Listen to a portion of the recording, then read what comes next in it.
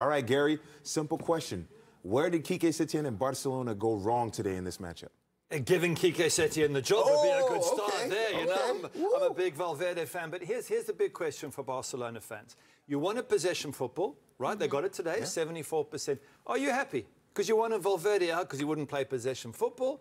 To me, it's about results. They got rid of a guy who was doing a great job. They brought in someone else. That's the worst first half I have seen from Barcelona. And once again, the goalkeeper makes five saves, more in 31 minutes than in, in the full entirety of every match up So it was now. worse than the 1 0. Uh, they, they won, they beat Atletico Madrid, but that first half against Atleti at the Wanda was pretty bad too. It was worse than that. This is worse. I mean, Ooh. they didn't even test the opposition keeper. There wasn't one decent shot in the first half. Yeah.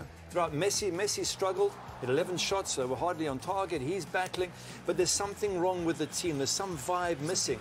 The thing is, is everyone, like you said, is, is the hashtag Valverde out. He's he's what's going wrong in Barcelona. But you look at the stats, you look at the passes. Even when they passed, what was it, 102 passes their first game Yeah. under Quique Setien, they're still not dangerous in that final third. You can possess the ball, but it's what you do with it. A possession yeah. with purpose. And right now, they don't have a midfield that is like a Xavi mm. that is getting those like those killer passes through. That's allowing Ansu Fati, Griezmann, and Messi to make those darting runs in between, in behind the back four. The midfield for me are playing too safe. Now Busquets, we kind of know what we get from him.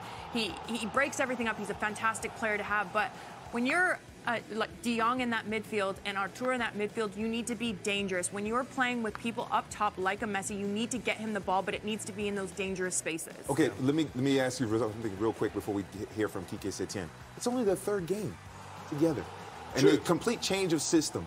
Yeah. Aren't, aren't people Is it a overreacting a, little big bit change? to a good team like look, Valencia? Look at the games. They beat Granada 1 0. Yeah. And Okay. they struggled, to Struggled. break and they had to go down to 10 men Granada before they beat them.